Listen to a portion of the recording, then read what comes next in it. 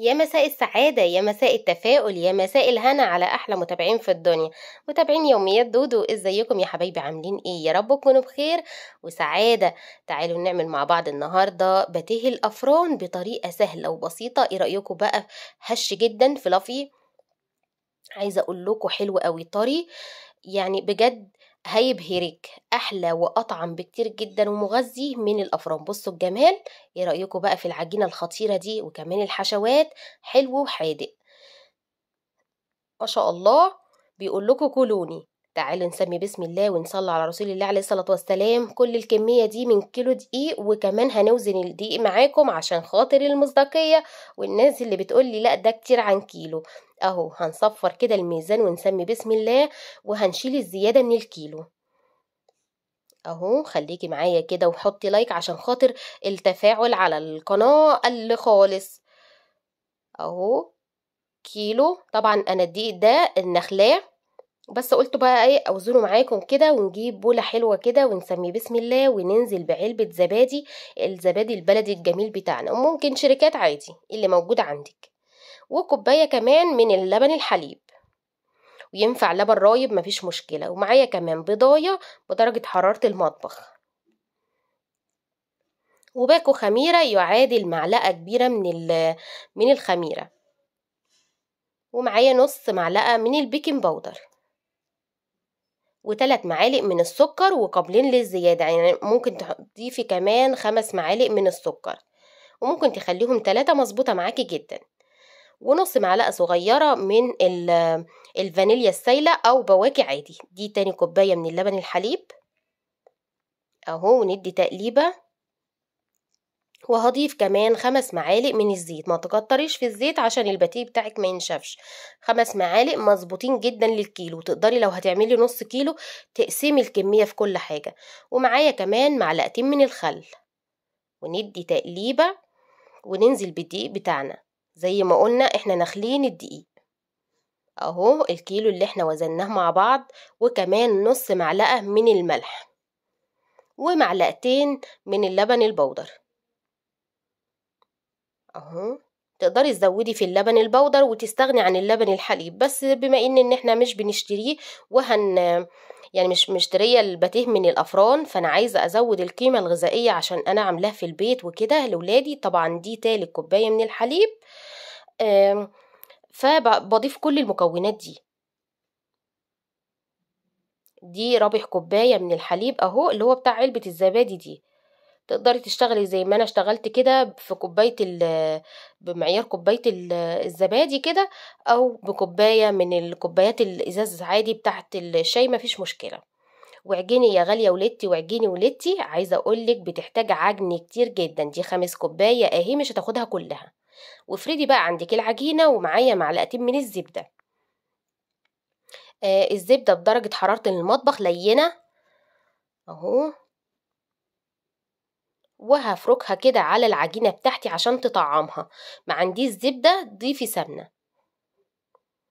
أهو. أو بقى سمنة جنة سمنة كريستال اللي هي القوالب مفيش مشكلة. وهبتدي أسمي بسم الله وأنزل شوية بشوية على إيدي كده من آه من الحليب. واعجن كويس جدا جدا يا غالية. هتبص تلاقيها انعكشت معاكي وثابت تحسي إن لأ العجينة دي مش نافعة. لأ عجيني بس كويس ولدتي وهتشوفي دلوقتي ملمس العجينة قد إيه حلو.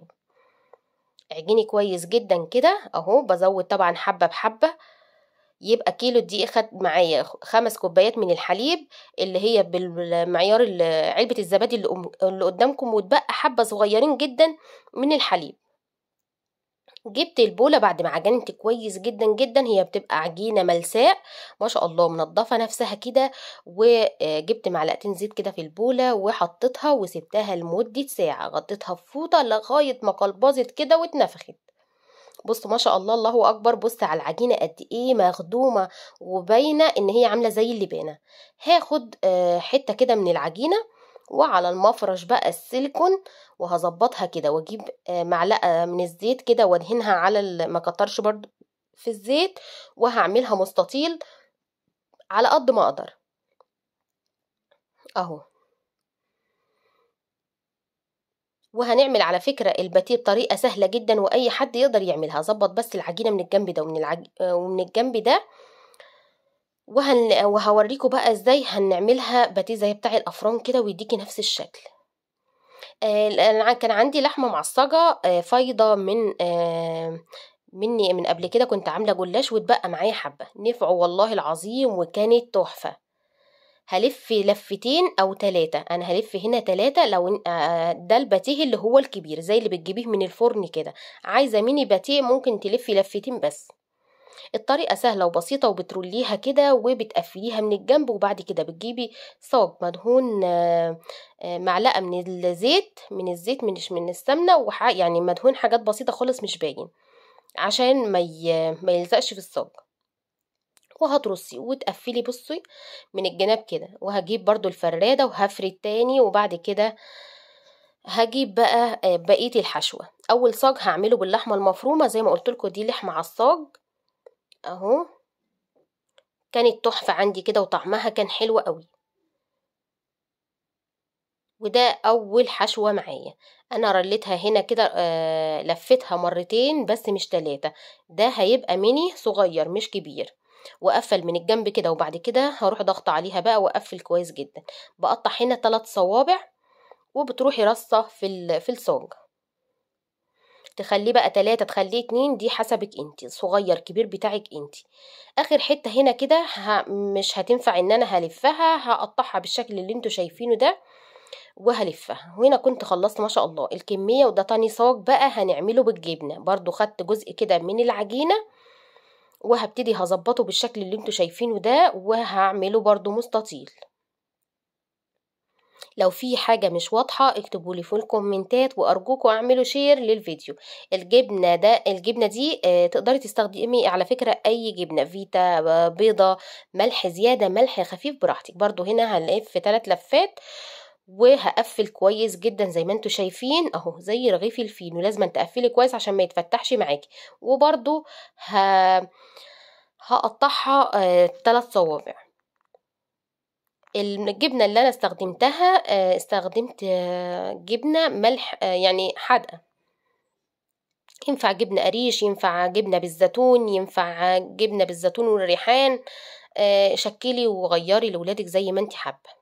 هنا بقى اللي بالنوتيلا برضو بنفس الطريقة فردتها مستطيل بالنشابة كده وبقطعها بالشكل اللي أنتوا شفتوه ده وهلف بقى النوتيلا. بس أنا أنصح إن أنتوا تعملوا بشوكولاتة أحسن مش بالنوتيلا عشان هتسيح و يا إما تقللوا الكمية عشان أنا كنت مكترة الكمية وكنت لفاها كويس جدا بس برضو النوتيلا ساحت وخرجت بره وآخر حتة أهي ما بنهدرش حاجة خالص برضو هلفها كده وهن هضيف كده النوتيلا وهقفلها واعملها باتيهاية كده. كان شكلهم تحفة وطعمهم والله العظيم خطير جدا. جربوا بقى الباتيه هيعجبكم جدا. مش هتشتروه خالص من بره. وعندي هنا كده آه تلات أربع معالق من الحليب وصفار بيضة الصفار بس وعليهم نص معلقة من القهوة أو النسكافيه أو تقدري ما تستخدميش حاجة. تمام؟ وبعد كده بتدهني بقى العجين بتاعك أو الباتيه بتاعك بيكون اختمر معاكي ونفش وزاد اتضاعف حجمه يعني وبقى زي الفل كده.